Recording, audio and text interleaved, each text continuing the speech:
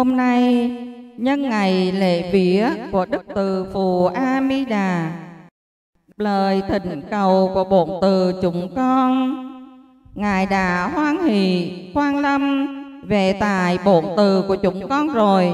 Giờ này chúng con xin đế đầu kiện thỉnh thường tòa quan lâm pháp tòa để ban cho đạo tràng của chúng con một thời pháp. Nam mô Bổn sư Thích Ca Mâu Ni Phật. Nam mô A Di Đà Phật. Trên thượng tòa đã từ bi hứa thà cho chúng con rồi chúng con xin đế đầu đảnh lễ cúng dường kiền thịnh tam bái nam mô bổn sư thích ca mâu ni phật Toàn thể đạo tràng khởi thân đứng dậy, chắp tay trang nghiêm, cung thỉnh Thượng tòa Giảng sư Quan Lâm Pháp Tòa.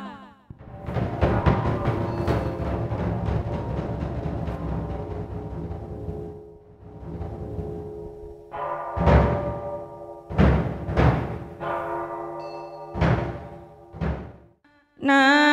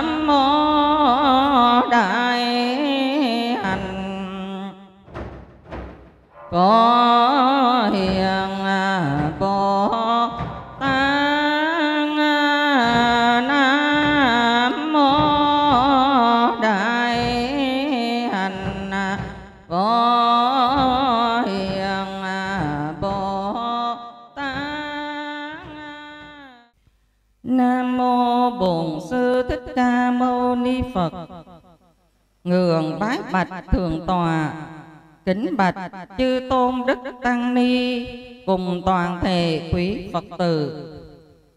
Cho phép con được cung kính giới thiệu. Hiện diện trên pháp tòa là thường tòa thích tuệ hải. Ngài là ủy viên ban hoàng pháp trung ương giáo hội phật giáo việt nam. Trụ trì chùa long hương huyện Nhân Trạch, tỉnh Đồng Nai. Và Ngài trước đây cũng là trưởng ban đại diện Giáo hội Phật giáo Việt Nam huyện Nhân Trạch, tỉnh Đồng Nai. Với bao nhiêu Phật sự bề bồn tại trụ sử chùa Long Hương mỗi tuần đều đằng ngài tuyên dương đại pháp tuyên thuyết đại thừa pháp bảo và hiện nay ngài đang thuyết giảng bộ kinh hoa nghiêm là một bộ kinh được gọi là lấu đài nguy nga tráng lệ, là cảnh giới tối cao của chư Phật chư đài Bồ Tát và chỉ có bậc đại thiện tri thức mới có thể tuyên thuyết như vậy. Ngài còn là một vị lương y tận tùy với chúng sinh với nhiều năm kinh nghiệm về phương pháp dưỡng sinh của tiên sinh Osawa. Mỗi tuần, Ngài lại thuyết giảng về phương pháp dưỡng sinh trả lời rất nhiều câu hỏi, tất cả những câu hỏi về tật bệnh của bệnh nhân cứ đều đặn như vậy mỗi tuần hai buổi thuyết pháp mỗi tuần hai buổi thuyết về phương pháp dưỡng sinh và trị bệnh. với năng lượng từ bi của ngài với năng lực đặc biệt của bậc bậc chân tu ngài đã cứu chữa rất nhiều bệnh nhân đã đưa bệnh nhân từ cửa tử trở về. đó là những bệnh nan y những bệnh ung thư giai đoạn cuối mà bác sĩ lương y bệnh viện đã không còn cách điều trị. Rất nhiều rất nhiều bệnh nhân trong đó có cả tăng ni phật tử đã được ngài cứu chữa, đã trở về với sự sống, với sức khỏe bình thường, mỉm cười với cuộc đời và dường như nhìn đến thì người ta không biết là người này đã từng trải qua những cơn bệnh tật và ở nơi cửa tử với bao nhiêu Phật sự bề bồn ở tại địa phương như vậy? nhưng vì lòng từ bi đại từ bi. Ngài đã đáp lời thỉnh cầu của chúng con. hôm nay quan lâm về tài bổn từ chùa quảng hương của chúng con rồi. Tất cả đạo tràng của chúng con giờ này với tấm lòng hân hoan, hạnh phúc và đang lắng đồng tâm tư để lắng nghe lời dạy bảo của thượng tọa chúng con đế đầu đảnh lệ thượng tọa ban pháp nhủ cho đạo tràng của chúng con được ân triêm phước lạc. Nam mô bổn sư thích ca mâu ni phật. Nam mô phật ờ, trước hết là chúng tôi rất là hoan hỷ trước cái uh, tấm lòng vì đạo của uh, ni sư trụ trì chùa quán hương à, đến uh, đạo tràng chùa long hương. À, mời chúng tôi về đây để có buổi gặp gỡ với quý phật tử tại đạo tràng này. Và, và chúng tôi cũng đã hoan hỷ hứa khả. Và giờ này thì uh, chúng tôi cũng uh, xin uh, Ờ, hoan hỷ nhận lời và sẽ có buổi chia sẻ Phật pháp ngày hôm nay. ngày kính thỉnh ni sư hãy đứng dậy và để chúng ta bắt đầu cho buổi nói chuyện ngày hôm nay.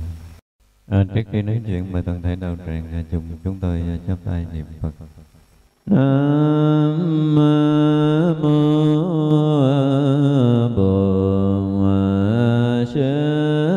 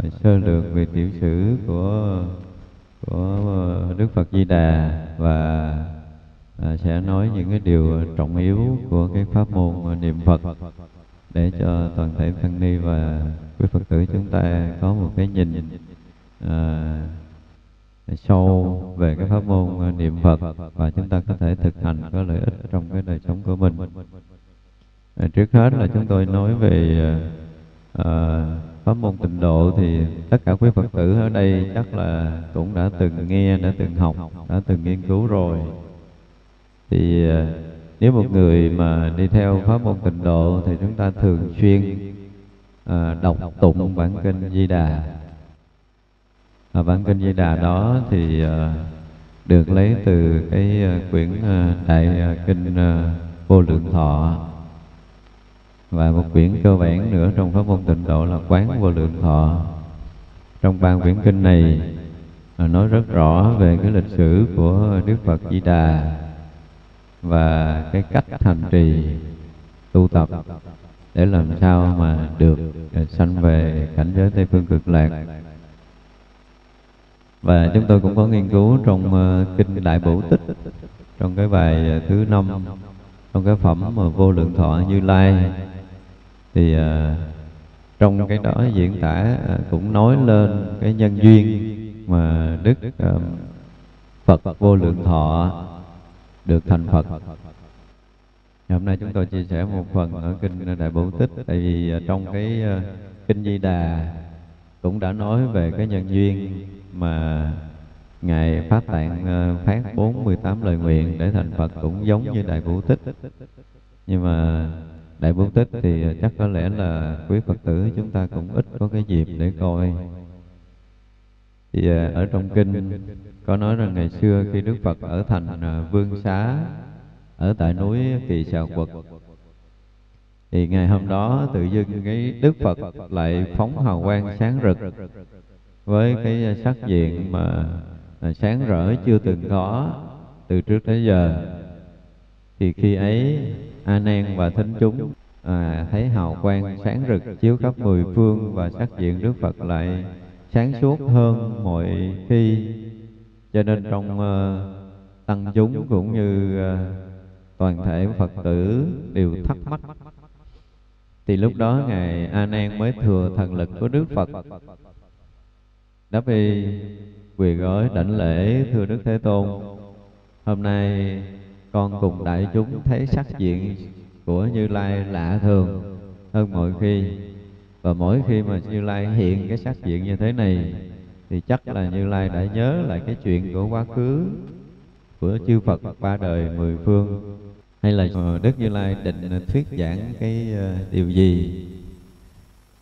Thì lúc đó Đức Phật hỏi anh em là, ông đặt câu hỏi này là do chư thiên mách bảo ông hay là ông tự nhận ra? Thì anh em trả lời với Đức Phật là, bạch Thế Tôn, con tự nhận ra điều này. Cho nên mới đại diện thính chúng đứng ra thưa hỏi với Đức Phật thì mong Đức Phật vì à, đại chúng mà khai thị diễn nói cái à, nguyên nhân. Vì sao mà sắc diện Đức Phật lại rực rỡ, rạng ngời, mà cả chúng đời người từ xưa giờ chưa từng thấy cái điều này xảy ra? Thì Đức Phật đã à, nhận lời anh em và bắt đầu kể chuyện xưa. Đức Phật nói là đã trải qua vô lượng vô biên, hằng hà, sa số kiếp về trước. Có Đức Phật hiệu là Nhiên Đăng và sau Đức Phật Nhiên Đăng là còn một số các vị Phật khác kế tục ở trong tam giới này. và cho tới cái thời kỳ Đức Phật uh, Thế Tự Tại Vương ra đời. và khi Đức Phật Thế Tự Tại Vương ra đời á, thì giáo hóa lúc đó có một vị vua trong đất nước của ngài Thế Tự Tại Vương nghe pháp và hiểu thấu đạo lý cho nên ờ, bỏ hoàng cung xin xuất gia làm một vị tỳ kheo trong pháp hội của Đức Thế Tự Tại Vương và được uh, Đức Phật Thế Tự Tại Vương uh, đặt pháp danh là Pháp Tạng. vì vị Pháp Tạng này à, sau khi mà ở trong chúng hội của Đức Thế Tự Tại Vương và cũng một lần thấy cái hào quang của Đức Thế Tự Tại Vương rực sáng và thấy cái à, sắc diện của Đức Thế Tự Tại Vương cũng rực sáng lạ thường. Cho nên ngài Đức Tạng cũng đảnh lễ để cầu thỉnh Đức Thế Tự Tại Vương vì sao hôm nay có một cái điềm lành như thế. Thì Đức Thế Tự Tại Vương cũng ờ, nói lên cái nhân duyên tu hành của chư Phật quá khứ. Đồng thời lúc đó Ngài Pháp Tạng cầu thỉnh Đức Thế Tự Tại Vương nói nhân duyên của hơn 200 ức Đức Phật những công hạnh tu hành. Từ lúc mà phát tâm Bồ Đề tu tập, cho tới khi thành đạo, cho tới khi thuyết pháp, độ sanh và những cảnh giới của chư Phật. Vì à, đã có nhân duyên nhiều kiếp cho nên ngài pháp tạng nghe hết tất cả những công hạnh tu hành của hơn 200 ức đức Phật. Và trong suốt một thời gian rất là dài, thì ngài phát tạng hành trì trong tất cả những công hạnh đó thành tựu. Và sau khi mà thành tựu những công hạnh tu hành của hơn 200 ức đức Phật rồi, thì mới đến đảnh lễ ngài thế tự tại vương phật. Và thưa với ngài thế tự tại vương phật là qua lời dạy của ngài, con đã thực hiện thành tựu công phu tu tập của hơn 200 ức đức phật rồi. Và con xin phát nguyện ngưỡng mong ngài chứng minh cho. Thì khi ấy, đức thế tự tại vương cùng chúng đại bồ tát ở khắp thập phương rất là hoan hỷ. Và lúc đó ngài Pháp Tạng mới bắt đầu phát 48 lời nguyện.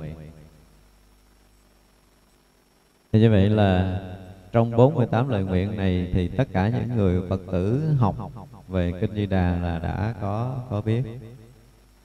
Và sau khi phát 48 lời nguyện, cho nên là bắt đầu Ngài mới hành trì và cuối cùng chứng được đạo quả và cái tên của ngài ấy là vô lượng thọ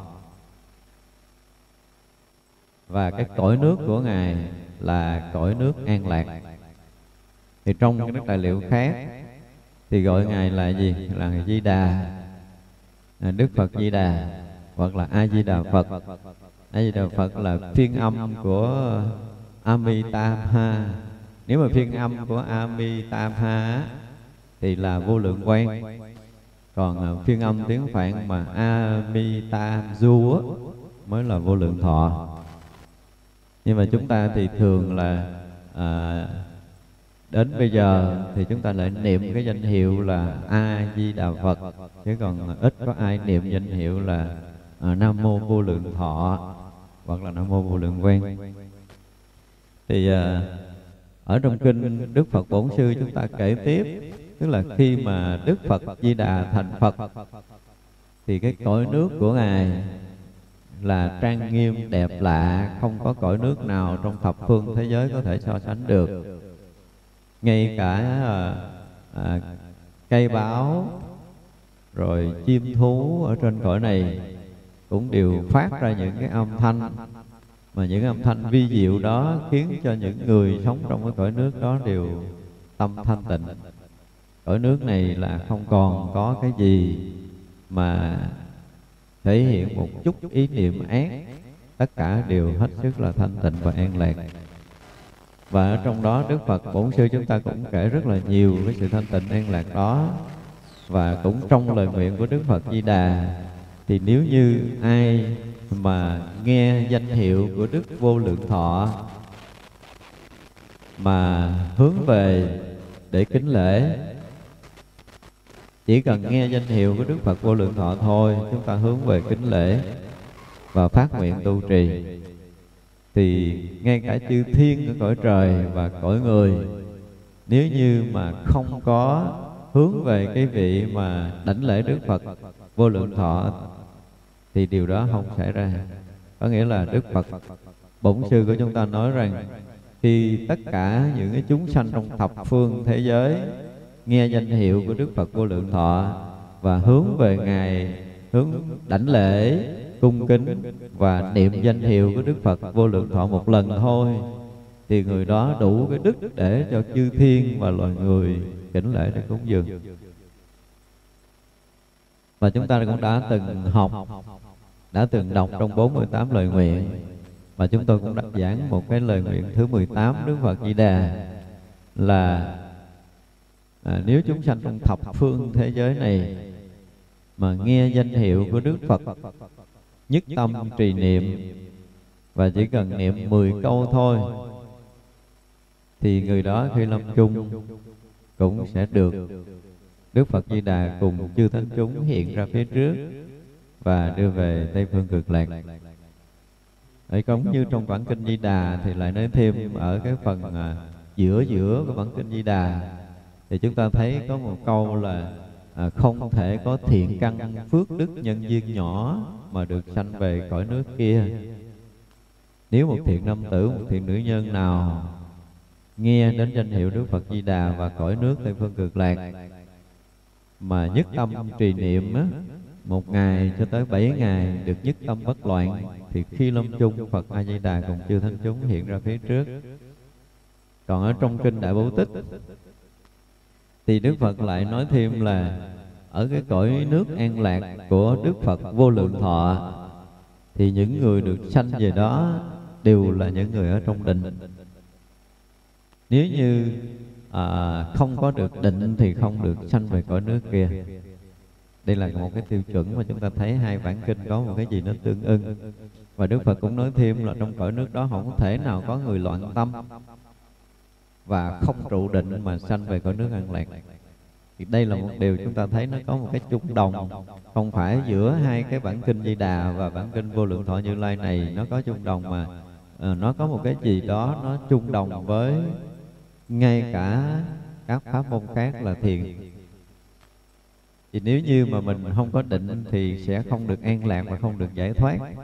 Đây là một cái chung nhất để chúng ta phải thấy cho nên tất cả những kinh điển sau khi mà chúng ta đọc, thì chúng ta sẽ thấy ra những cái điều mà à, nhất quán ở trong tinh thần của Phật đạo, từ hệ thống kinh nguyên thủy cho tới thiền tông, cho tới tịnh độ, thì đều có một cái gì đó nó rất là nhất quán, không có sai lệch. Như vậy là cái chỗ đến với cái tiêu chí là với kinh di đà thì thiện căn, phước đức nhân duyên phải lớn và trong bản kinh đại bố tết thì người nào không có định tâm thì không thể sanh về tây phương cực lạc. Thì như vậy là cái lời nguyện của đức phật là nếu như mà niệm 10 câu mà không sanh về cõi nước ta ta thề ta không thành phật. Thì cái này nó có phù hợp nó có đúng với hai cái tiêu chuẩn mình đưa ra hay không? Đây là cái điều mà chúng ta muốn uh, muốn nhắc với nhau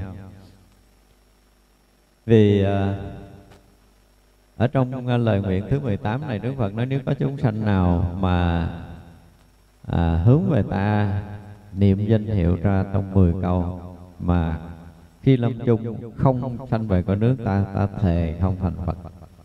Đây là một điều rất là rõ ràng trong lời nói này.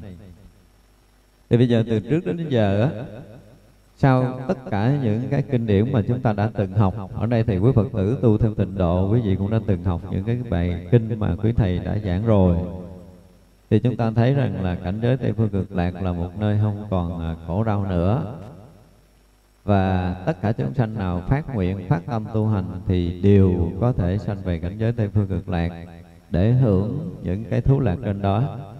Nhưng mà trong bản kinh đại bố tích thì đức phật cũng nói, cái lạc thú ở trong cái nước an lạc của đức phật vô lượng thọ, thì cái an lạc đó nó ngang bằng với một vị tỳ kheo tu chứng diệt họ tưởng định. Thì đây là một cái điều mà chúng ta chưa từng có thể tưởng tượng nổi. Tức là tất cả chúng sanh mà được sanh về cảnh giới, cõi giới an lạc của đức phật vô lượng thọ, thì những chúng sanh nó luôn luôn trú trong cái cảnh giới an lạc. Mà cảnh giới an lạc đó thì ngang với cảnh diệt thọ tưởng định, tức là ngang với cái vị chứng quả a la hán đối với cái hệ thống kinh nguyên thủy. Thì đây là những vấn đề, là những cái mốc mà để chúng ta có thể nói sâu về cái cái pháp môn tịnh độ. Chúng tôi muốn điểm qua những cái mốc này để thấy rằng cái công phu của một hành giả tịnh độ, nếu như chúng ta không hiểu cho đúng, không thấy cho tận nguồn, thì chúng ta rất khó thành tựu được công phu của chúng ta. Và với cái nhìn của chúng tôi về bản kinh di đà cũng như là pháp môn tịnh độ là một pháp môn rất là chuyên sâu, nhưng phải trải qua cái, những cái căn bản mà ai cũng có thể biết là gì? Là tính, là hạnh, là nguyện thì tin chúng ta thấy là tin tự rồi tin tha rồi tin nhân rồi tin quả rồi tin lý rồi tin sự vân vân. tất cả những cái tin đó. Thì ở trong kinh ờ, đại bố tích đức phật dạy là sau khi đức phật đã nói hết về cảnh giới của đức phật vô lượng thọ về cõi nước an lạc. Nếu có chúng sanh nào mà nghe qua và đủ lòng tin. Phát tâm cung kính đảnh lễ đức phật vô lượng thọ, thì chúng sanh đó sẽ đủ cái chủ nhân để có thể sanh về cái cõi nước an lạc của ngài vô lượng thọ. Và cũng trong bản kinh đó, đức phật dạy a nan, sau khi thuyết rồi, bản kinh này rồi, thì đức phật dạy ngài a nan và thính chúng, hãy đắp y cung kính hướng về đức phật vô lượng thọ và đảnh lễ đức phật vô lượng thọ. Thì lúc đó, Đức Phật vô lượng thọ phóng hào quang chiếu khắp mười phương pháp giới và tới cõi ta bà, nơi mà Đức Phật đang thuyết pháp ở núi Kỳ Sào Quật. Và hiện toàn bộ cảnh giới an lạc ra cho thính chúng thấy. Thì lúc đó đức ờ, phật bổn sư của chúng ta là hỏi anh em là bây giờ ông có thấy cảnh giới của cõi nước an lạc của đức phật vô lượng thọ hay không? Anh em và thính chúng trả lời là bạch thế tôn con thấy thì ờ, đức phật hỏi là ông có thấy ao thất bảo hiện ra không? vì cả đại chúng hiện đều thấy. thì ông có thấy là à, những hàng cây báo hiện ra hay không? thì đại chúng được trả lời là thưa thế tôn chúng con thấy rất rõ điều này. ông có thấy là cõi nước nó có tất cả những màn báo những linh báo những vật báo có thấy hay không? Thì các vị đều trả lời là có thấy và ông có thấy những cái âm vang từ cái cõi an lạc hiện ra hay không? Thì thính chúng trả lời là thấy. Và đức phật hỏi âm vang đó khi các ông nghe thì như thế nào? Thì các vị nói là, khi mà con nghe được tất cả những âm vang này thì tắt hết tất cả những cái tham sân ở nơi tâm chúng con và hiện ra một cái sự an lạc rất là thanh tịnh mà từ xưa giờ chưa từng có như vậy là trong bản kinh nó diễn tả một cái điều gì? Khi mà đức phật hiện ra, thì tại sao là mọi cảnh giới đều an lạc và thanh tịnh? Như là tất cả những người mà thấy được đức phật di đà thì sao? Tâm cũng an lạc và thanh tịnh. Thấy được cảnh giới đức phật a di đà thì tâm cũng an lạc và thanh tịnh. Nghe được âm vang từ cõi nước của đức phật a di đà thì sao? Tâm cũng an lạc và thanh tịnh thì đây là cái điều muốn nói tới cái gì? bây giờ chúng ta niệm a di đà phật. Chúng ta có thấy phật di đà không? Lâu nay chúng ta niệm chúng ta chưa từng thấy đúng không? Có thấy cái cảnh giới ở cõi nước an lạc không? Cũng chưa có lần nào đúng không? Chưa có lần nào. Do đó chúng ta làm sao? Không được an lạc và thanh tịnh. Đây là cái chỗ trọng yếu mà tôi nói là, nếu như một người mà đủ lòng tin, sau khi mà nghe Đức Bổn Sư Thích Ca Mâu Ni của chúng ta giới thiệu về Đức Phật vô lượng thọ và cái cõi nước an lạc của Ngài vô lượng thọ, thì tăng chúng trong thời Đức Phật với 1.250 vị tỳ kheo và hàng hà sa số chư đại Bồ Tát, cũng như các vị thính chúng ở trong lúc đó được cái sự hướng dẫn của Đức Từ Phụ và hướng về Đức Vô Lượng Thọ đảnh lễ thì liên khi ấy cảnh giới an lạc của Đức Vô Lượng Thọ hiện ra. đây là cái gì mà chúng ta phải chắc chắn khi đọc tới đây chúng ta phải thắc mắc. thì như vậy là các vị này phước đức tu tập đã từng theo chân của chư đại bồ tát tu tập cho tới khi mà đức bổn sư chúng ta thành phật thì cái công đức tu hành các vị này rất là lớn thì như vậy là chúng ta thấy như trong kinh di đà nói sao là không thể có thiện căn phước đức nhân duyên nhỏ mà sanh về cõi nước kia mà cái tiêu chuẩn của Đức Phật đặt ra là gì? Nếu một ngày cho tới bảy ngày mà niệm Phật nhất tâm thì khi lâm chung Đức Phật Di Đà cùng chư thánh chúng mới hiện ra phía trước. Còn ở trong bản kinh uh, Vô Lượng Thọ Như Lai thì nói làm sao? Tất cả chúng dân trong cõi nước an lạc của Đức Phật Vô Lượng Thọ đều là những người gì? Định tâm mới được sanh về cảnh giới là cảnh giới định cảnh giới là cảnh giới thanh tịnh và an lạc mà không thanh tịnh thì không thể có mà thanh tịnh thì sẽ hiện sự an lạc ra cho nên là chúng đệ tử của đức bổn sư sau khi nghe đức bổn sư giới thiệu về cảnh giới của đức phật vô lượng thọ đất nước an lạc này thì tất cả chúng đều thanh tịnh. Và tâm thanh tịnh mới có đủ sức thấy Đức Phật vô lượng thọ. Và trong kinh cũng nói ngày à, vô lượng thọ là hào quang á thì chiếu khắp mười phân pháp giới và hơn hào quang của một số các vị Phật khác. Vì Đức Phật muốn ca tụng hơn hào quang thì chính cái chỗ này chúng tôi cũng thấy nó có một chút gì đó mà chúng ta cần phải nói lại. Thật ra đã chứng đến Phật quả, thì trí tuệ, phước đức và hào quang cũng như phương tiện thì đồng nhau nhưng mà không hiểu tại sao trong cái phẩm kinh nó lại nói là hào quang đức phật vô lượng thọ là là hơn hào quang của chư Phật các cõi khác. Ví dụ như hào quang của đức phật vô lượng thọ đã chiếu mười muôn cõi ức ở phương đông. Thì là trên thấu tới trời hữu đảnh dưới thấu tới địa ngục a tỳ. Trong cái khoảng giữa đó nó à, thấy được tất cả những cái vị bồ tát hành đạo tu hành rồi chứng thành phật quả rồi thuyết pháp độ sanh rồi nhập niết bàn vân vân. Và chúng sanh dạo đi trong tất cả các cõi nước đó. Như vậy là ở phương đông cũng chiếu như vậy và mười phương khác hào quang của đức vô lượng thọ cũng chiếu khắp như vậy.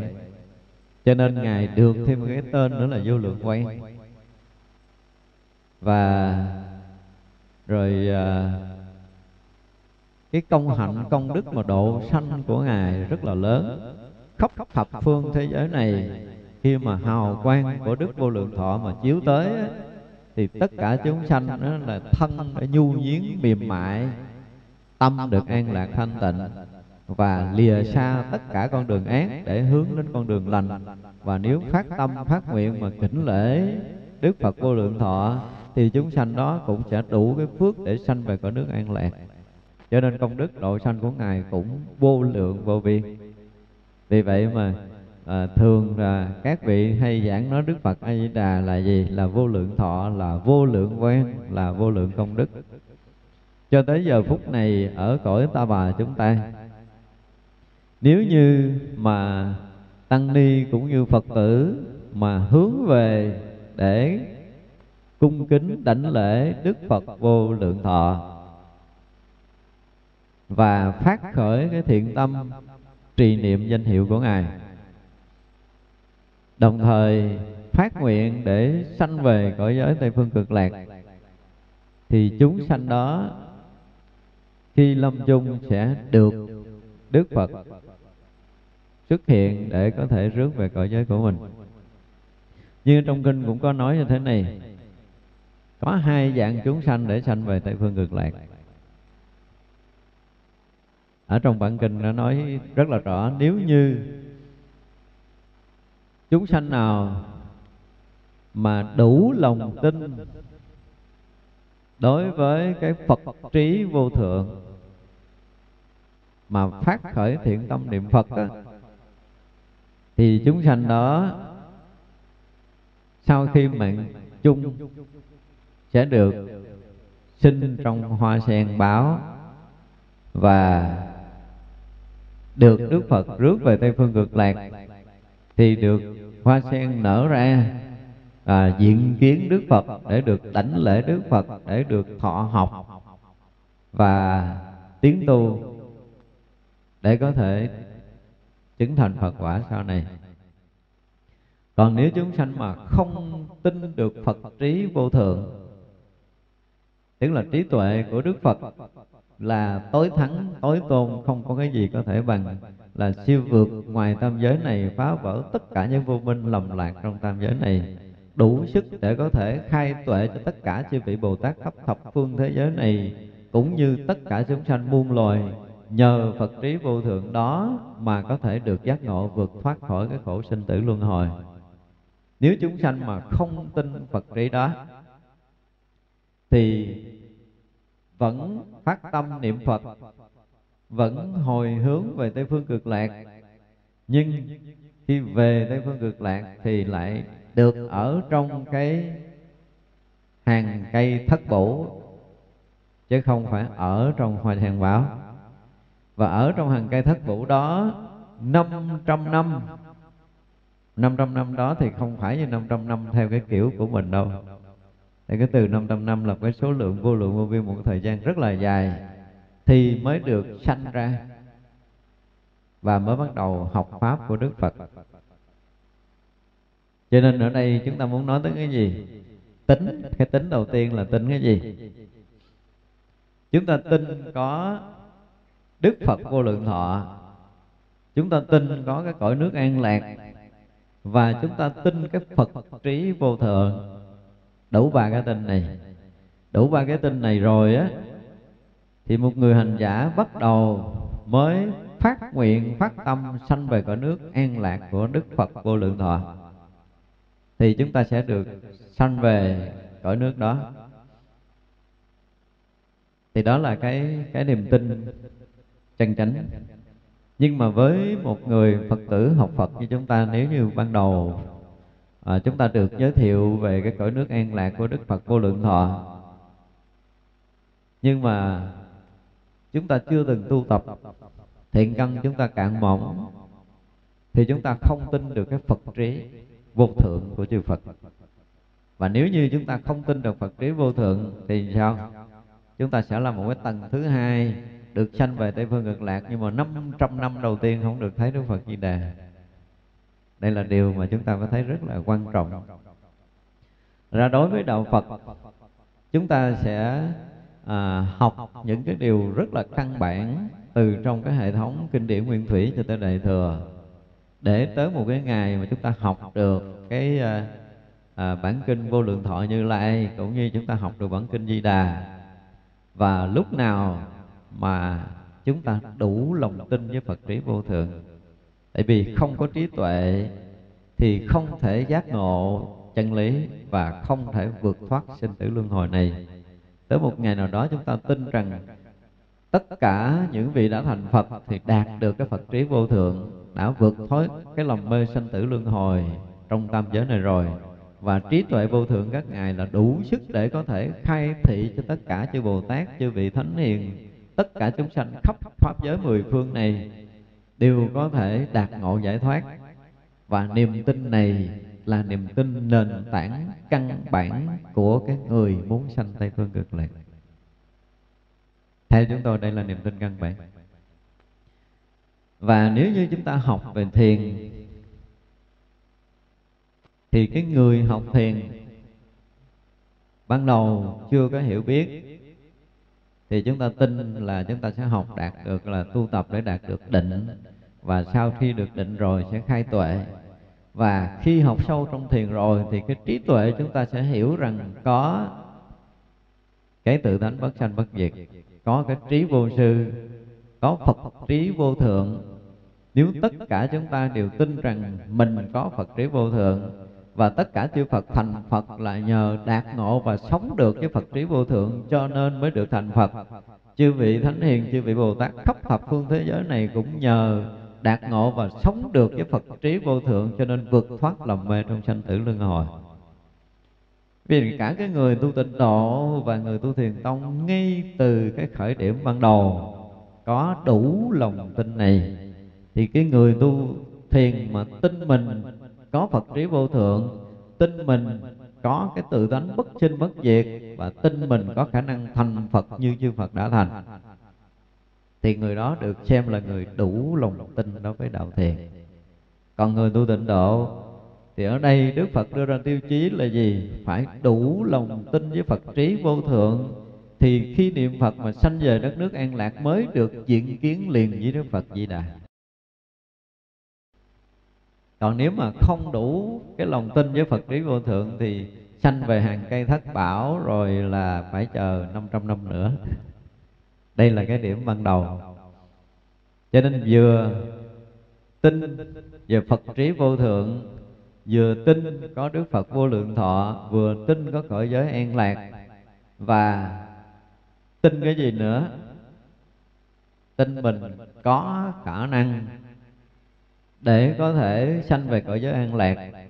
Đồng thời, tin mình có khả năng tu hành đúng như cái lời dạy, thực hành đúng như hạnh nguyện của chư đại bồ tát, và mình có thể chứng được phật quả như chư phật đã chứng.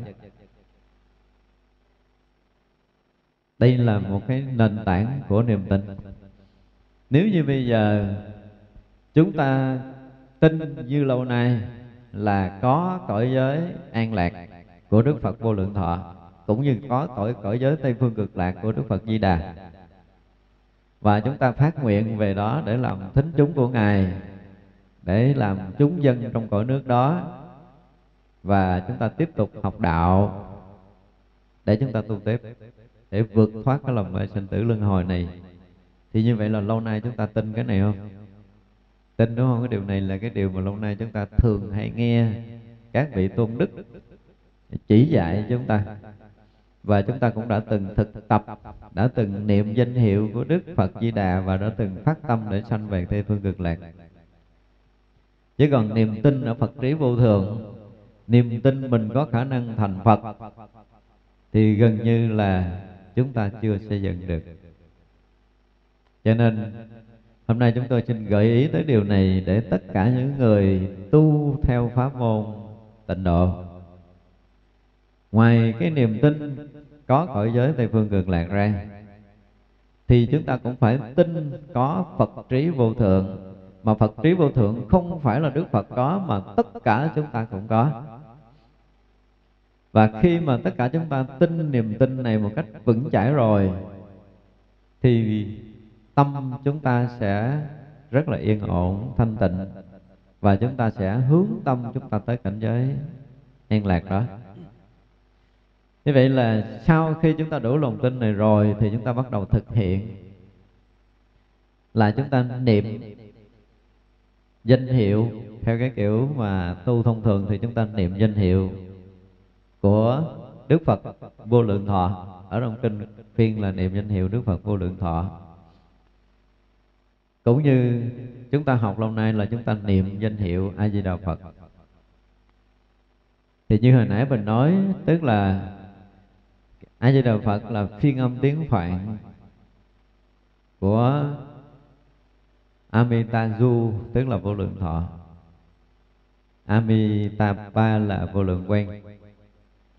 Nhưng mà cái câu đó nó dài quá, khiến người ta niệm hơi bất tiện. Thành ra rồi phiên âm từ tiếng phạn chỉ có bốn chữ là a di đà phật, hoặc là chúng ta có thể niệm sáu chữ là nam mô a di đà phật. Nhưng ở đây chúng ta sẽ nói về cái vô lượng thọ theo cái nhìn của hệ thống kinh nguyên thủy, cũng như cái nhìn của những người tu thiền và cái nhìn của người tu tịnh độ.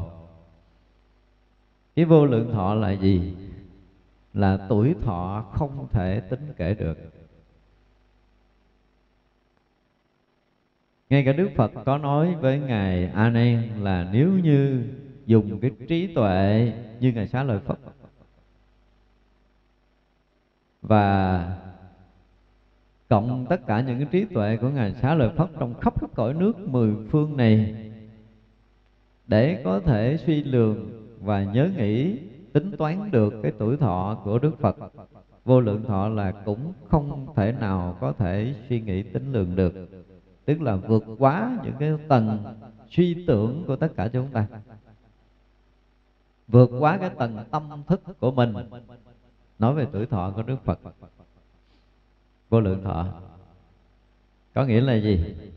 Nhà trong như vậy thì trong nhà thiền nói cái mà tuổi thọ không thể tính lường được tức là cái bất sanh bất diệt.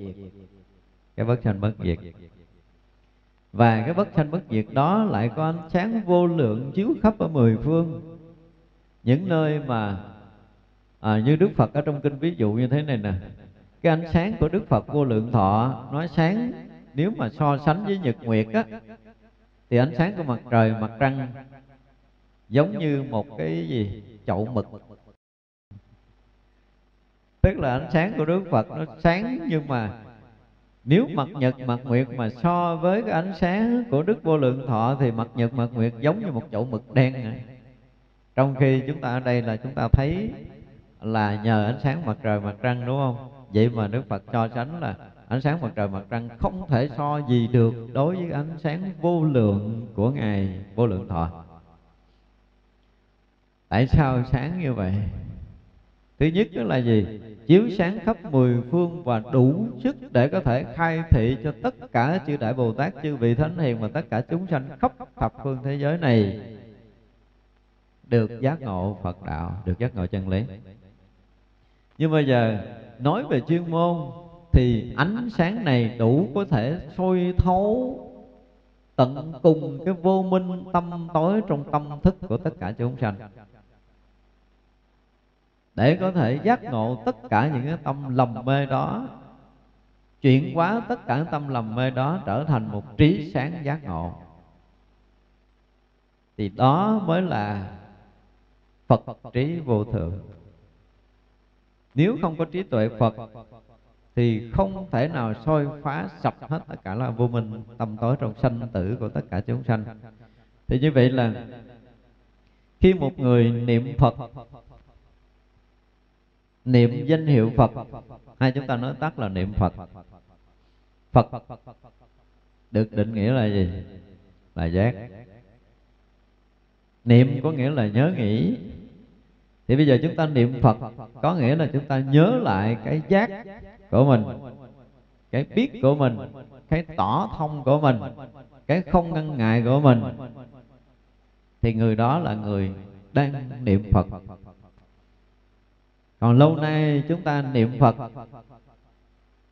thì chúng ta niệm danh hiệu của phật. Nhưng mà tâm của chúng ta làm sao? Vẫn không giác. Tâm chúng ta vẫn mê loạn tâm chúng ta không được định và trí chúng ta không có sáng tỏ, cho nên chúng ta không thể thấy được đức phật di đà. Và không thấy được đức phật di đà thì sẽ không thấy được cái cảnh giới an lạc của tây phương cực lạc. Và không thấy được cảnh giới an lạc đó thì sao? Tâm không đạt được cái sự an lạc và thanh tịnh. Thành ra bây giờ nếu như chúng ta niệm Phật, Có nghĩa là Chúng ta thấy rõ, Biết rõ tất cả những cái xảy ra nơi thân tâm của mình.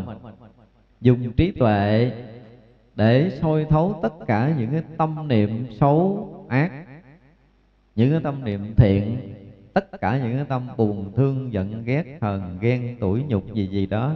Mỗi mỗi cái tâm niệm hiện ra đều được chúng ta thấy, chúng ta biết một cách rất rõ ràng tức có nghĩa là chúng ta đang ở cái chỗ trí tuệ vô thượng mà không còn bất kỳ một cái niệm nhỏ nào xảy, nơi, xảy ra nơi tâm của mình mà mình không rõ không biết. Nên lục căn chúng ta tiếp xúc với lục trần. Lúc nào chúng ta thấy cảnh duyên thì trong cái thấy rạng ngời sáng suốt của của Phật quan vô thượng thì cái gì hiện ra trước mắt là chúng ta thấy rõ cái đó không bị lầm lạc, không rớt vào cái việc ham lam đắm trước, không phân biệt để chúng ta dính mắt, đắm trước trong đó. Thì như vậy là chúng ta sẽ là cái người đang niệm Phật. Có nghĩa là chúng ta đang nhớ và đang sống bằng cái trí giác thanh tịnh của chính mình. Thì đó là chúng ta đang hành trì cho nên dù là chúng ta có niệm nam mô a di đà phật, hoặc là chúng ta không niệm nam mô a di đà phật, nhưng mà tâm của chúng ta luôn luôn sáng suốt, không lầm duyên cảnh. Thấy cũng rõ ràng, không lầm. Nghe cũng rõ ràng, không lầm. Ngửi cũng rõ ràng, không lầm. Nếm cũng rõ ràng, không lầm. Xúc chạm cũng rõ rõ ràng, không lầm. Và bao nhiêu ý niệm quá khứ, hiện tại, vị lai của chúng ta xảy ra chúng ta đều rõ ràng không lầm. Thì như vậy là chúng ta đang niệm phật. Và không phải rõ ràng một cách bình thường. Như trong kinh kim cang nói, độ vô lượng, vô biên, vô số, chúng hữu tình mà không thấy có một chúng sanh thật được diệt độ. Thì lúc đầu á, nếu chúng ta là cái người mới tu tập, thì chúng ta thấy ý niệm buồn. Chúng ta không tiếp tục. Thấy ý niệm giận, chúng ta không tiếp tục thấy niệm thương để dính mắt, chúng ta không tiếp tục. Thì như vậy là giữa mình và ý niệm nó vẫn còn cái gì? Vẫn còn có đối tượng, vẫn còn có người, đúng không? Nhưng mà trong kinh kim cang lại nói là cái gì? Những cái ý niệm khởi lên xem như là một chúng sanh. Và chúng sanh khởi lên mà đưa chúng sanh vào vô dư y niết bàn. Khi mà, ví dụ như quý vị giận một người mình bây giờ mình ngồi thiền, mình niệm phật, mình nhớ tới cái chuyện mình giận người đó rồi mình bắt đầu mình xả ly, mình không có nhớ nữa. Mình sẽ hứa là trong lòng mình sẽ không giận người đó nữa. Và mình bỏ qua ý niệm giận đó đi. Thì cái giận này hết luôn không? Có ai một lần vậy hết liền không? Không hết, đúng không? Không hết có nghĩa là gì? Vô vi niết bàn là cảnh giới vô sanh cho nên đưa chúng sanh tới vô vi niết bàn có nghĩa là chúng sanh nó không còn sanh trở lại nơi tâm của mình nữa. Một ý niệm giận của mình mà mình bỏ mà mình còn nhớ lại có nghĩa là chúng sanh còn sanh trở lại, có nghĩa là chúng ta chưa đưa tới vô vi niết bàn, đúng không?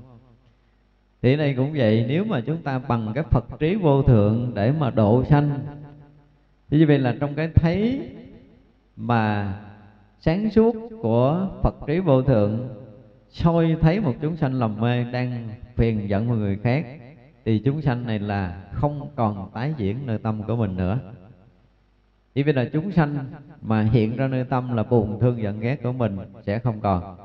Và không còn có nghĩa là mới đưa chúng sanh đó tới vô gì nếu vậy thì làm sao mà tất cả phật tử chúng ta hành trì? Hồi nãy là mình tin, bây giờ mình hành. Không, hành có nghĩa là luôn sống với phật tâm vô thường của mình với cái trí sáng nhiệm màu của mình, để tất cả những cái ý niệm thương ghét dính mắc trong trần tục, trong tam giới này mà nó hiện ra cái gì, chúng ta đều đưa tới cảnh giới an lạc.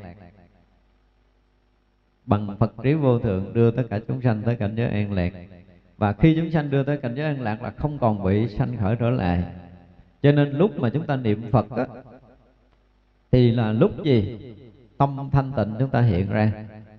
Lúc chúng ta niệm phật là lúc mà chúng ta đang an lạc, là đang ở cõi giới an lạc của đức phật vô lượng thọ. Như là trong ngày, cả ngày lẫn đêm, trong đi đứng nằm ngồi, tất cả chúng ta đều ở cảnh giới an lạc của đức phật vô lượng thọ, có nghĩa là gì? Cả ngày lẫn đêm tâm chúng ta luôn luôn an lạc và thanh tịnh nếu như tâm chúng ta an lạc và thanh tịnh, thì chúng ta đang ngự trong cảnh giới an lạc của đức phật vô lượng thọ. Thì như vậy là chúng ta đang hành trì pháp môn tịnh độ. Tịnh là gì? Tịnh là theo thanh tịnh. Độ là quốc độ, là cõi nước thanh tịnh. Bây giờ khi chúng ta đã phát đủ cái lòng tin đối với cái cảnh giới an lạc, cảnh giới thanh tịnh của đức phật di đà cũng như là đức phật vô lượng thọ rồi. Thì chúng ta hành trì có nghĩa là chúng ta bắt đầu sống trong cảnh giới an lạc và thanh tịnh. Cho nên lúc nào mà tâm chúng ta không an lạc, không thanh tịnh là lúc đó chúng ta không niệm phật. Dù là miệng chúng ta nhép nhép a di đà phật, nhưng mà tâm chúng ta đang bực bội, đúng không? Đang phiền người này, đang tức người kia. Thì như vậy là không phải là chúng ta đang niệm phật nói theo cái nghĩa đúng ở đây thì chúng ta đang à, bị xa rời cảnh giới an lạc và thanh tịnh. Cho nên nếu mà chúng ta tin nhân tin quả đi thì nhân thanh tịnh an lạc mới đạt được cái quả thanh tịnh an lạc. Muốn về cõi giới an lạc đức phật di đà mà tâm chúng ta không thanh tịnh chúng ta về nổi không? Cho nên tính chính ở trong cái bản kinh vô lượng thọ như lai hồi nãy chúng tôi nói là đức phật khẳng định một điều, là tất cả những cái chúng nhân trong cõi nước an lạc của đức phật, vô lượng thọ, đều là những người đến ở trong thiền định. Cõi nước đó không dung chứa những cái tâm tạp loạn và không định. Cho nên là bữa nay chúng ta xây dựng lại, nếu mà muốn muốn tới cái đất nước an lạc của đức phật vô lượng thọ hoặc là chúng ta muốn tới tây phương cực lạc của đức phật a di đà thì chúng ta cũng phải bắt đầu khởi cái nhân an lạc và thanh tịnh. Không có cái nhân nào khác để có thể sanh về đó. Đây là điều mà đức phật đã khẳng định. Cho nên quý vị thấy là sau, như hồi nãy mình nói là sau khi mà đức phật giảng thuyết rồi thì tất cả thính chúng đều an lạc và thanh tịnh chính cái sự an lạc và thanh tịnh này mới hiện rõ cảnh giới an lạc của đức phật vô lượng quan mới hiện ra. Ví dụ như bây giờ, chúng ta đang ở đây. Tâm chúng ta thực sự an lạc và thanh tịnh thì tất cả cái cõi nước này, tất cả những cái hiện ra trước mắt của chúng ta bây giờ là cái gì? Là an lạc và thanh tịnh cho nên nó đẹp như là vàng rồng đẹp như là pha lê kim cương sa cừ mã nào áo san hô hổ phách. tức là tất cả những cái hiện ở trước mắt chúng ta đều là những cái hàng cây báo trang nghiêm những cái màn lọn trang nghiêm dân che. Nhưng nếu một cái lần mà chúng ta đang bực bội một người nào đó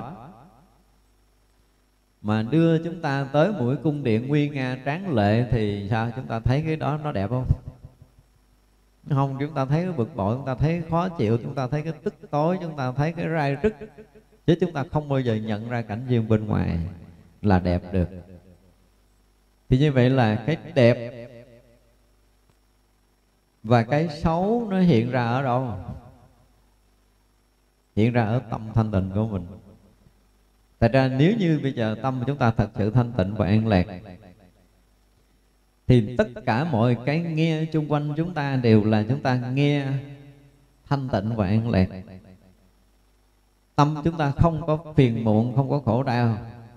Thì mọi cảnh chung quanh chúng ta đều là thanh tịnh, an lạc.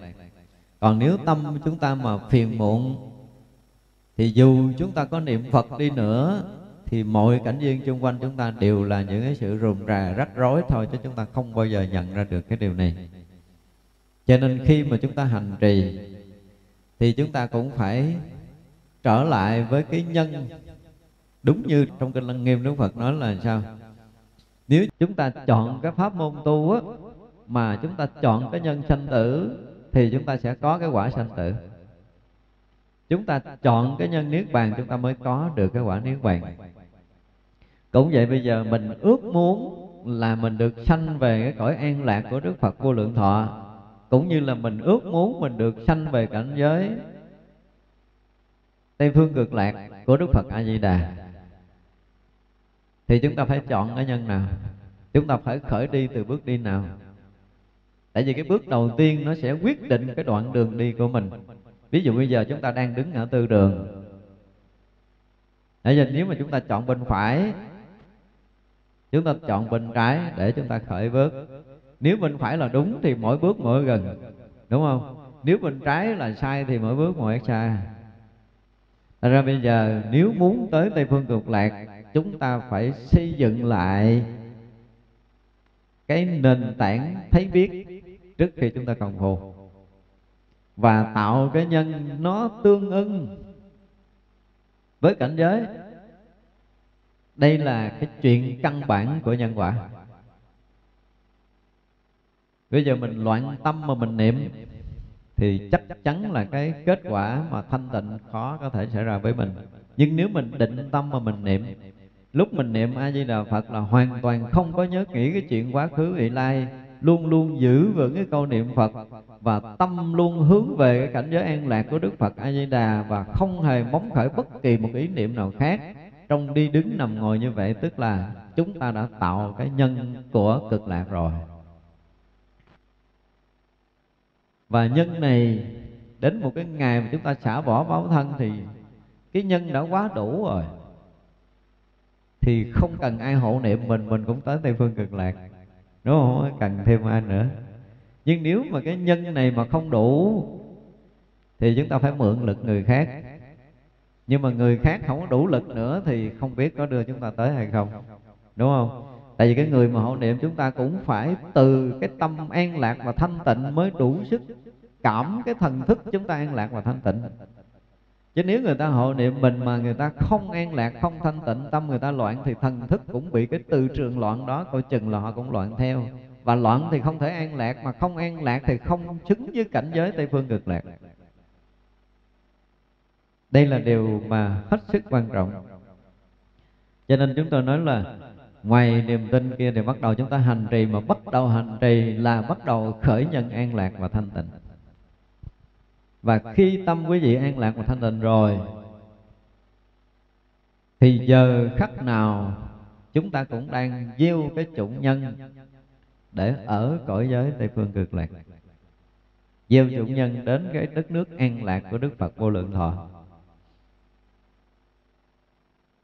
Và nếu được như vậy thì chúng ta lại đủ cái niềm tin. Càng làm đúng chừng nào thì niềm tin chúng ta càng vững chừng đó. Cho tới một ngày, tất cả chúng ta ở đây mà niệm phật đến cái cái lúc mà chúng ta tự thấy rằng tâm mình đủ an lạc, thanh tịnh và đủ phước báo để có thể sanh về cõi giới tây phương cực lạc. Trước khi chúng ta lâm chung, chúng ta tuyên bố với bạn bè là tôi đủ lực để có thể tới đất nước an lạc của đức phật vô lượng thọ rồi. Tôi đủ cái phước để sanh cảnh giới tây phương cực lạc đức phật a di đà rồi. Và tôi chết khỏi cần ai hộ niệm luôn. Thì vậy là có chúng ta thành công. Chúng ta làm được không? Cái này không có khó. Nhưng mà do chúng ta chọn cái pháp tu, do chúng ta khởi nhân chính hay là chưa chính? Đức Phật, ví dụ ở trong kinh như thế này. Nếu có một người mà đem một cái gào để mà trát nước biển Và múc nước biển đi đổ một chỗ khác, Và nếu kiên trì, kiên nhẫn làm á, Thì cũng có thể cạn được cái biển đó mà lấy được của báo. Còn tất cả chúng sanh, nếu như kiên trì, kiên nhẫn thực hành đúng chánh pháp Đức Phật, thì người đó cũng sẽ được thành Phật, giống như cái người mà tác cạn biển để lấy của báo đương nhiên là khó. Nhưng mà khi chúng ta quyết tâm và chúng ta làm đúng, thì mọi chuyện nó sẽ dễ dàng với mình. Tại vì á, nói tới nhân quả thì chúng ta sẽ nói tới nhân quả đồng thời của cái phương pháp hành trì của mình nữa. Ví dụ như bây giờ tất cả chúng ta ngồi đây, chúng ta đang sống trong cái rõ biết hiện tiền, cũng như chúng ta đang niệm phật. Có nghĩa là trí giác chúng ta đang hiện rõ để thấy biết mọi chuyện xung quanh ở đây thì vậy là ngay khi đây chúng ta có cái gì? Có sự an lạc thanh tịnh liền. Đúng không? Mà bây giờ chúng ta ở đây chúng ta an lạc thì chút nữa chúng ta cũng sẽ an lạc thanh tịnh. Và chuyển khoan thời khắc khác thì chúng ta vẫn tiếp tục an lạc và thanh tịnh. Thì như là sự an lạc và thanh tịnh, tiếp nối sự an lạc và thanh tịnh nơi tâm của mình. Cho nên cái an lạc thanh tịnh càng lúc nó càng sâu, càng lúc nó càng rộng, càng lúc nó càng rõ, càng lúc nó càng lớn mạnh và nó trở thành khói, nó trở thành cái đời sống an lạc và thanh tịnh của chính mình. Vì vừa làm là chúng ta nhận được, vừa tạo nhân an lạc, thanh tịnh thì chúng ta sẽ hưởng được cái quả nó liền, gọi là nhân quả đồng thời. Chứ chừng đừng có tu mà chờ nhân quả một chút nữa sẽ ra. Tu tịnh độ cũng không phải đợi tới chết mới sanh về tây phương cực lạc. Mà chúng ta tu tịnh độ là ngay tại đây chúng ta sống trong cảnh giới an lạc và thanh tịnh nếu chúng ta niệm Phật đúng, thì ngay đây cảnh giới an lạc thanh tịnh hiện ra, tức là cảnh giới tây phương cực lạc hiện ra với chính mình ở đây. Thì đây được gọi là nhân quả đồng thời. Còn phát tâm tu để chờ khi mình mất rồi mình mới sanh tây phương cực lạc là sao? Còn xa lắm, mình biết bao lâu mình mất. Mà tại sao mình không hưởng an lạc thanh tịnh ngay tại đây mà mình đợi mới chết mới hưởng? Đúng không? Chúng ta có thắc mắc không? Cứ chết thì con phát nguyện con mới sanh tây phương cực lạc mới về đó mới hưởng được sự an lạc thanh tịnh. Thì như vậy là chuyện còn lâu lắm mình mấy mươi năm nữa mình mới chết mà. À, chẳng lẽ bây giờ từ đây tới đó mình chấp nhận sự bất an cho tới khi mình chết mình mới được an lạc thanh tịnh sao? Thành ra chúng ta phải thay đổi lại một tí Đúng không? Cho nên chúng tôi nói là phải hành trì trở lại Một cách rất là căn bản đúng với nhân quả. Là chúng ta phải lắng tâm thật sự thanh tịnh để niệm Phật. Và để cho cái sự thanh tịnh hiện ra rồi thì chúng ta niệm Phật. Niệm tới đâu là an lạc, là thanh tịnh tới đó. Cho nên là lúc nào chúng ta cũng hưởng được cái sự an lạc và thanh tịnh ở cõi nước Đức Phật A Di Đà. Thì như vậy là Đức Phật A Di Đà là hiện tiền ở trong đời sống của chúng ta. Thì dù chúng ta có sống hay là chúng ta có chết đi nữa thì chúng ta cũng đã ở trong cõi nước này rồi. Cho nên lúc mà cái thân thọ mạng này chúng ta không còn dùng xài nữa thì nghiễm nhiên là chúng ta ở trong cõi giới Tây Phương Cực Lạc và chúng ta được diện kiến Đức Phật Di Đà. Thì điều này là điều cần hiểu chứ còn quý vị mà đợi niệm rồi quý vị hồi hướng á, cho nên là cái niềm tin và cái cái hành động của chúng ta, nó có một cái gì nó tương ưng, nó đồng nhất, thì chúng ta không cần nguyện, nó cũng thành. Còn niềm tin và cái cái việc làm của chúng ta, nó không đồng nhất. Chúng ta tin có cõi giới tây phương cực lạc. Chúng ta tin có cái nơi sống mà bình yên và hạnh phúc lâu dài. Theo cái nghĩa của thế gian chúng ta tin có một cõi nước là rực rỡ, sáng suốt, nhiệm màu với đầy tất cả những cái bậc thượng thiện nhân ở đó. Mà không hề có bất kỳ một cái gì ác xảy ra. Bao nhiêu cảnh giới đều là an lạc và thanh tịnh. Chúng ta tin quá tin điều này rồi. Nhưng mà bây giờ mình hỏi lại coi, mình đang hành trì có đúng với cái mình đang tin không? Hay là mình niệm phật hay gì là phật hay gì là phật, nhưng mà chúng ta chưa có rõ, chưa có thông, chưa có tin chưa có làm đúng với cái điều này. Cho nên nếu như bây giờ chúng ta tin có sự thanh tịnh, thì chúng ta cũng phải khởi cái niệm phật bằng sự thanh tịnh là tính và hành nó phải tương ứng. và khi tính và hạnh tương ưng thì nguyện chúng ta sẽ thành. Còn tính hạnh không tương ưng thì nguyện sẽ không thành. Cho nên dù chúng ta có nguyện nhưng mà chúng ta không có hạnh tức là chúng ta không có thực hành đúng như cái niềm tin với cái sự hiểu biết của mình. Thì cái nguyện này coi như chỉ là một cái vọng thôi vọng hướng thôi chứ chúng ta rất là khó có thể đạt được. Cho nên bây giờ trước đây á, thì chúng ta như thế nào không biết đúng không? Và bây giờ chúng tôi xin gợi ý để tất cả những cái hành giả tu tịnh độ ngay từ giờ phút này chúng ta nên phát tâm, phát nguyện, niệm phật trở lại. Gieo cái nhân chính thống đối với cảnh giới tây phương cực lạc là gì? Là sự an lạc và thanh tịnh tâm. Đây là nhân chính thống đó. trong tất cả các đạo giáo trong đạo Phật, tất cả công phái trong đạo Phật, dù là tu thiền thì cũng phải khởi cái nhân thanh tịnh để mà tu tập mới đi sâu vào thiền định chứ khởi bằng cái tâm loạn động thì chúng ta theo tâm loạn để chúng ta đi. Như vậy là khi mà chúng ta phát nguyện để sanh về cõi giới tây phương cực lạc, hoặc là chúng ta phát nguyện được diện kiến đức phật di đà. Mà đức phật di đà như hồi nãy mình nói là cái gì? Là vô lượng thọ, là vô lượng quen. Thì cái vô lượng thọ và vô lượng quen là chỗ để chúng ta quy hướng đây, tới cái cái cái nguyện nè. Thì chúng ta giữ được tâm thanh tịnh để làm cái gì? Để chúng ta được diện kiến đức phật di đà. Được thấy gì? Cái vô lượng thọ. Được thấy cái vô lượng quen. Hoặc là được trở về để sống trong cảnh giới vô lượng thọ và vô lượng quen.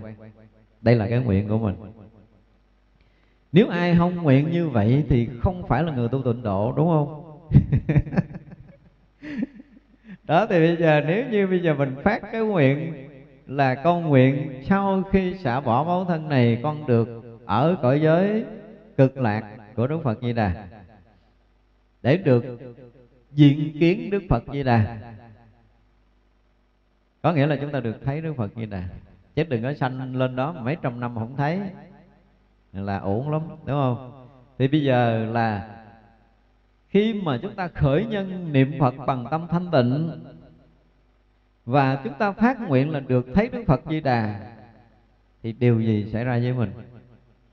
Phát nguyện trở về với cõi giới Tây Phương Cực Lạc, Tức là trở về với cái chỗ bất sanh bất diệt, Trở về với cái trí tuệ thấy không lầm mê Sáng suốt chiếu khắp Pháp giới mười phương này, Một lượt giống như ánh sáng của Đức Phật Di Đà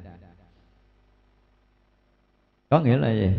ngày nào đó mà tâm chúng ta thực sự thanh tịnh, đủ cái sức thanh tịnh đó, thì chúng ta được thâm nhập cảnh giới a di đà thì như vậy đối với người tu thiền sao?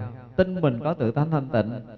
Và một ngày nào đó tự tánh của mình được hiển lộ, tức có nghĩa là chúng ta hết tất cả những cái vọng thức phân biệt rồi, thì tự tánh hiển lộ, tức là hiện cảnh giới thanh tịnh tuyệt đối, bất sanh, bất diệt sáng suốt nhiệm màu, có nghĩa là người đó cũng nhập tánh. Tới chừng đó thì mới được gọi là bất thối cho nên là trong cái bài kinh tụng là gì? Nguyện sanh tây phương tịnh độ trung. Cũ phẩm liên quan vi phụ mẫu qua khai kiến phật ngộ vô sanh, bất thối bồ tát vì bạn lự. Tất cả chúng ta đều có cái, đã từng đọc câu này rồi, đúng không? Tức chúng ta nguyện phải sanh được trong cảnh giới trong cái cõi giới tây phương cực lạc của đức phật đó. Và cho tới cái gì? Cho tới cái chuyện là hoa khai kiến phật, hoa nở là mình thấy phật liền. Nếu như chúng ta giữ được sự an lạc thanh tịnh, thì chắc chắn là tâm của chúng ta sẽ đến một cái ngày gọi là thành tựu hoàn thiện cái công hạnh tu hành mỹ mãn của mình thì chúng ta sẽ thấy rất rõ Đức Phật A Di Đà tức là giống như người tu thiền là thấy rõ tự tánh bất sanh bất diệt. Chúng ta thấy rõ được cái bất sanh bất diệt. Chúng ta thấy rõ được cái sáng suốt nhiệm màu. Mà khi cái trí sáng hiện ra rồi thì tất cả những lầm mê trong sanh tử được dứt trừ. Không còn bị lầm mê sanh tử nữa. Thì khi đức phật di đà hiện ra thì tất cả những cái mê lầm không còn rõ ràng trong kinh diễn tả rất là hay. Là cõi giới đó không có chuyện làm mê, không có chuyện đau khổ. Mà như trong bản kinh di đà chúng tôi nói là không có đau khổ, có nghĩa là gì? Là dứt mười tập nhân đau khổ. Có nghĩa là tham sân si, mạng nghi, thân kiến, biên kiến kiến thủ, giới cấm thủ. Và tà kiến không còn xảy ra nơi tâm của một hành giả nữa. Thì khi đó chúng ta mới thực sự là hết đau khổ. Thì cái người tu thiền cũng phải dứt mười tập nhân đau khổ này. Người tu tịnh độ mười tập nhân đau khổ này cũng không còn có ở nơi tâm, Thì tâm chúng ta mới thật sự thanh tịnh và an lạc Và khi tâm chúng ta thật sự thanh tịnh và an lạc rồi á, Thì chúng ta làm sao? Sẽ được diện kiến Đức Phật Di Đà giống như cái đầu bản kinh di đà chúng ta thấy một cái câu đầu tiên mà chúng tôi hay nói đi nói lại với nhiều người, tôi nói chỉ một câu này thôi đã tóm thâu hết tất cả những tinh hoa của tất cả các hệ thống kinh điển nguyên thủy đại thừa phật giáo, thiền tông và tịnh độ trong này. Đức phật nói là gì? Vượt qua mười muôn ức cõi ở phương tây. Ở cõi giới cực lạc có đức phật di đà hiện đang nói pháp. Câu đó thôi là đủ để có thể tóm thâu tất cả những tình yếu đó rồi bây giờ chúng ta nói về phương đông và phương tây theo cái nhìn của cái người của mình, đúng không? Cái người cõi này thì phương đông là hướng mà mặt trời mọc lên, phương tây là hướng mặt trời lặn xuống. Và khi mặt trời mọc lên là gì? Là mọi sinh hoạt của chúng sanh bắt đầu khởi động. Khởi động, khởi đầu với sự động hóa. Phương tây là ngưng dứt mọi sự hoạt động. Về đêm là chúng ta phải ngừng ngơi. Thì như vậy là ngừng dứt cái sự động hóa là cái chỗ nghỉ ngơi. Như vậy là khởi đầu cái sự động quá là khởi đầu sự vọng động, là khởi đầu cái tham sân si mạng nghi thân kiến, biên kiến kiến thủ với cấm thủ tà kiến cái phương tây có nghĩa là dừng dứt 10 cái tập nhân này. Cho nên đức phật nói là vượt qua 10 muôn ước cõi. Ví dụ như cõi tham thì từ sáng giờ mình tham nhiều ít. Thấy gì cũng tham thấy gì cũng thích, thấy gì cũng quý, thấy gì cũng mến, đúng không? Thấy gì cũng muốn trở thành mình, có nghĩa là mình từ cả một ngày mà một cái tham, hai cái tham trăm cái tham, ngàn cái tham, muôn cái tham, ức cái tham. Bây giờ chúng ta vượt qua mười cái cõi ức tham này. Và cõi ức sân, cõi ức si vân vân thì chúng ta vượt qua hết. Thì tới cảnh giới tây phương cực lạc có nghĩa là gì? Có nghĩa là tây phương có nghĩa là chỗ dừng dứt mười tập nhân này. Chúng ta vượt qua thì cái đó không có còn sinh khởi nơi tâm nữa. Và nếu mà vượt qua mười bước, cõi mà mười tập nhân đau khổ không còn ở nơi tâm nữa thì có hiện ở gì? Là cõi giới cực lạc. Cõi giới cực lạc có nghĩa là gì? Là dứt trừ sạch sẽ mười tập nhân đau khổ. Thì người tu thiền, còn một tập nhân đau khổ có thể chứng quả niết bàn không? Không được. Tu thiền cũng phải dứt mười tập nhân đau khổ. Tu tịnh độ cũng phải vượt qua mười muôn ước cõi đúng không? Đây là một cách diễn tả, một cách giảng dạy tứ niệm xứ rất là tuyệt vời. Trong bản kinh tiểu bổn di đà mà chúng tôi có giảng đó. Thì như vậy là khi mà dứt hết mười tập nhân đau khổ rồi thì cảnh giới tây phương cực lạc hiện ra. Người tu thiền dứt sạch hết mười tập nhân đau khổ rồi, tức là diệt đế sẽ hiện ra. Tập đế đã hết thì diệt đế hiện ra. Nói theo chiều công phu. Thì niết, diệt đế có nghĩa là niết bàn. Bên đây thì hiện cảnh giới tây phương cực lạc không có khác nhau về mặt công phu. Đúng không?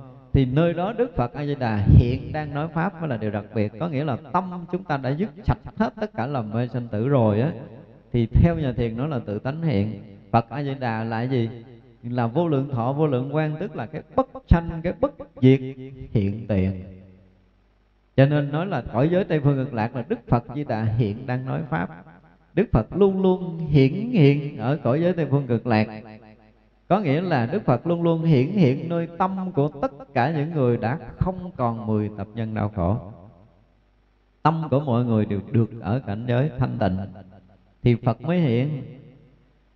Cho nên hồi nãy là cái nhân là phải tin phật trí vô thường. Mà phật trí vô thượng có nghĩa là trí tuệ sáng suốt, không lầm mê trong sanh tử nữa. Chúng ta đủ lòng tin, chúng ta gieo nhân, chúng ta gieo cái niềm tin đó và bắt đầu khởi nhân tu hành.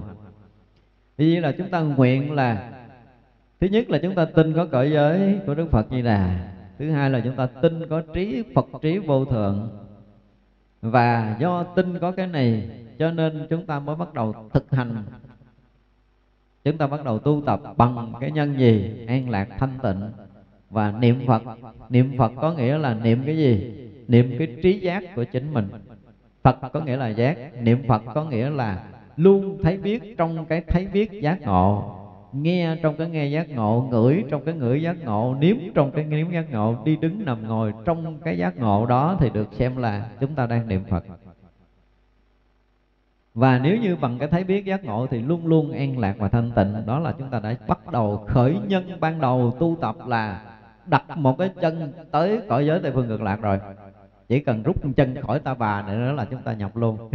Đúng không? Rồi khởi đầu là chúng ta đã đặt chân tới rồi chứ không phải là đợi khi chúng ta phải chết mới về thì phát nguyện đó là còn lâu lắm. Phát nguyện đó là còn xa, cho nên chúng ta phải đối với đạo phật.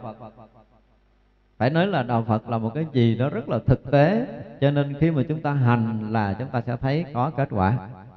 Nếu chúng ta tu theo đạo phật mà chúng ta còn hẹn ngày mai mới có kết quả, ngày kia có kết quả thì đúng là một cái bánh vẽ to tướng như hư không này. Không có lợi ích. Hả chưa? cho nên hôm nay chúng tôi có một ít thời gian để chia sẻ với chị rất mong là tất cả chúng ta nên khởi cái nhân tu hành một cách đúng như đức phật dạy, là bằng cái sự an lạc và thanh tịnh mà niệm phật và lúc nào chúng ta cũng an lạc, lúc nào chúng ta cũng thanh tịnh, lúc nào chúng ta cũng sáng suốt, không lầm mê, lúc nào chúng ta cũng không dính mắc với duyên cảnh xung quanh, thì chúng ta đang sở hữu được cái mảnh đất an lạc thanh tịnh của chư Phật rồi. Thì như vậy là nhân đã an lạc và cái sự an lạc từng bước được hình thành nơi tâm của chúng ta. Và khởi nhân từng bước đi trong cảnh giới an lạc. Từng cái khoảnh khắc chúng ta đang sống ở đây là chúng ta đang sống trong cái khoảnh khắc an lạc và thanh tịnh. Và sự an lạc và thanh tịnh này trở thành một cái thành quả mà do nhiều năm quân tu của mình. Để mỗi ngày chúng ta thực sự trở thành một người thanh tịnh tuyệt đối. Không còn bất kỳ cái tham sân si nào xảy ra nơi tâm chúng ta nữa. Không còn bất kỳ một cái vọng tâm lầm mê nào, không còn bất kỳ một sự vướng mắc nào. Thì khi ấy chúng ta được diện kiến Đức Phật Di Đà, tức là thấy được cái vô lượng thọ, vô lượng quen. Chúng ta được sống trong cảnh giới an lạc một cách tuyệt đối. Thì như vậy chúng ta thành công được cái công phu tu theo phương pháp tịnh độ và hôm nay có thời gian ngắn ngủi chúng tôi muốn chia sẻ một cái điều như thế. Chúng tôi rất mong rằng à, toàn thể à, hội chúng của chúng ta à, xây được cái niềm tin vững chắc đối với cảnh giới tây phương cực lạc đối với phật trí vô thượng đối với cõi nước an lạc của đức phật và chúng ta hành trì bằng cái nhân an lạc và thanh tịnh để chúng ta thành tựu cái kết quả thanh tịnh tuyệt đối để chúng ta được diện kiến Đức Phật A Di Đà như cái sự mong muốn của chúng ta ngay trong cuộc sống này. Nam mô Bổn Sư Thích Ca Mâu Ni Phật. Nam mô Bổn Sư Thích Ca Mâu Ni Phật. Ngưỡng bái bạch thường tòa giảng sư. Hôm nay toàn thể đạo tràng của chúng con thật vô cùng hạnh phúc và phước bảo đóng đầy. Gần hai tiếng đồng hồ, thường tòa đã hết lòng diễn đạt chân lý.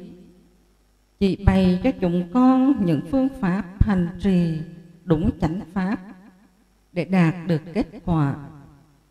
Chúng con thành kính tri ân, cảm trọng ân đức của Thượng Tọa và chúng con xin tạc già ghi lòng, cố gắng hành trì để chuyển hóa thân tâm vững tiến trên con đường giải thoát giác ngộ. Và hôm nay chúng con cũng biết rằng Thượng Tọa đã đem về cho chúng con hai ngàn quyển tinh túy bát nhà ba la mật đa, biểu tặng cho đạo tràng của chúng con. Quyền kinh quý bảo này do chính ngài giảng giải. Cho dù chúng con tu theo pháp môn nào, dù là thiền tông, dù là tịnh độ, dù là mật tông, thì cũng phải tụng và hành trì bát nhà tâm kinh tâm kinh bát nhà tinh túy của bát nhà chính là cốt lõi của hệ thống bát nhà mà Đức Thế Tôn đã giảng dạy ròng rã 22 năm trên khắp miền Ấn Độ. Giờ này chúng con nhận được những lời giảng dạy quý báu của Thượng Tọa. Chúng con không biết nói gì hơn, chỉ biết cúi đầu đảnh lễ. Cảm tạ ân sâu của tường tòa Chúng con cầu nguyện tam bảo, gia hộ trên Thượng tòa thân tâm thường lạc, mọi Phật sự được viên thành như sợ nguyện, mãi mãi là ngọn hải đăng để soi sáng cho hàng tử chúng chúng con trên muôn vàng lối về. Và chúng con cũng cầu nguyện tam bảo gia hộ cho thẳng duyên hôm nay sẽ còn mãi. Chúng con sẽ tiếp tục có đủ duyên lành để thường tòa về tài trụ sự của chúng con trực tiếp hướng dẫn cho chúng con tu hành. Và chúng con cũng xin cảm ơn tất cả quý Phật tử đã cúng dường tình tài, tình vật, công sức để hoàn thành bản kinh tinh túy bát nhà Ba La Mật Đa để hôm nay đến tay của ni chúng và chư Phật tử trong toàn huyện Đức Linh này. Cầu nguyện tam bảo gia hộ cho quý vị phước bảo vô biên sợ cầu như nguyện và chúng con cùng xin kính chúc chư tôn đức hiện diện trong đạo tàng hôm nay cùng toàn thể quý Phật tử vô lượng an lạc, vô lượng các tường. Một lần nữa, chúng con đế đầu đảnh lễ cảm trọng ân sâu của Thường Tòa và chúng con xin đế đầu đảnh lễ cúng dường tam bái.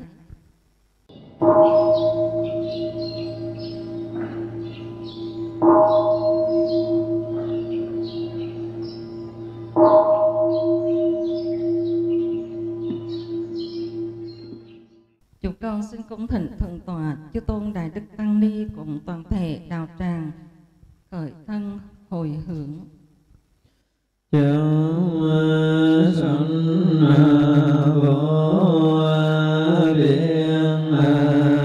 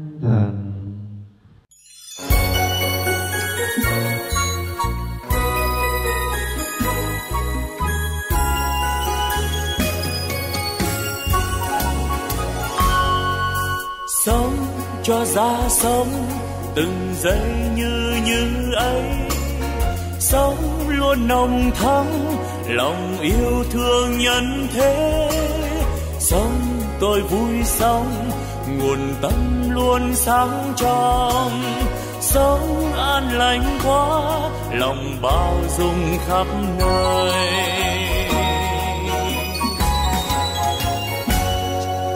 Sống tôi vui sống từng giây yêu thương quá.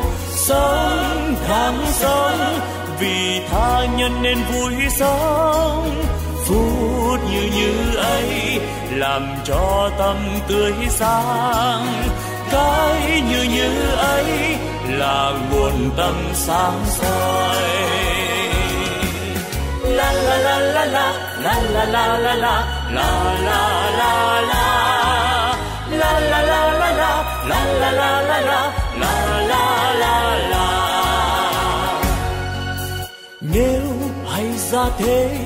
đời ta luôn luôn mới. Sống yêu thương mãi từ nay yêu thương mãi. Sống an vui thế đời ơi ta vui sống. Sống như như thế mùa xuân luôn thắm tươi. xuân mãi thắm tươi. Sống như xuân mãi mình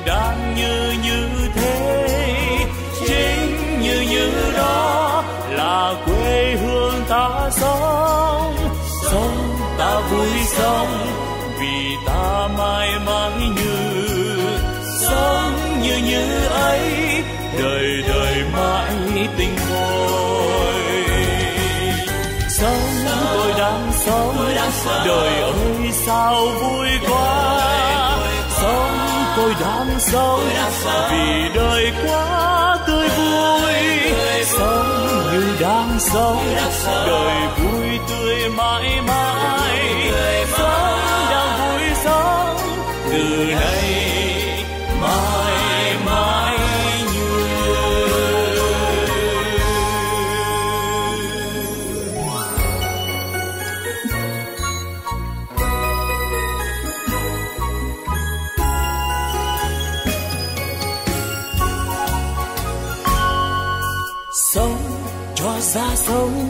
từng giây như như ấy. Sống luôn nồng thắm, lòng yêu thương nhân thế.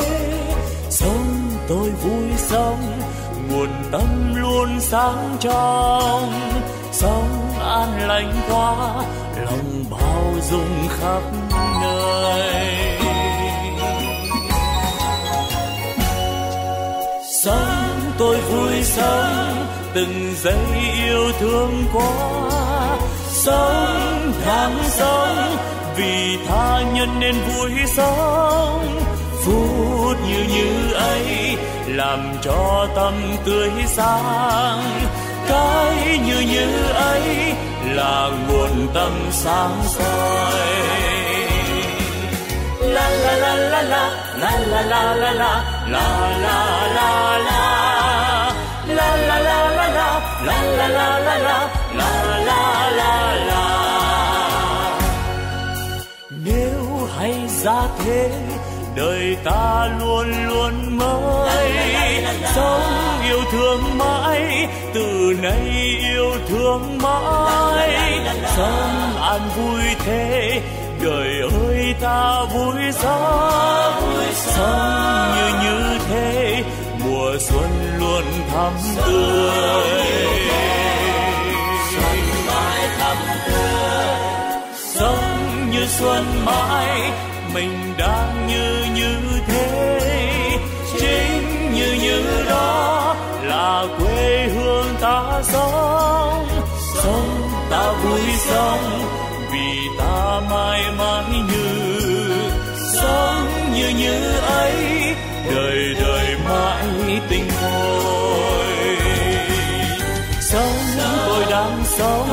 đời ơi, sao vui quá. Sống tôi đang sống. Vì đời quá tươi vui. Sống như đang sống. Đời vui tươi mãi mãi.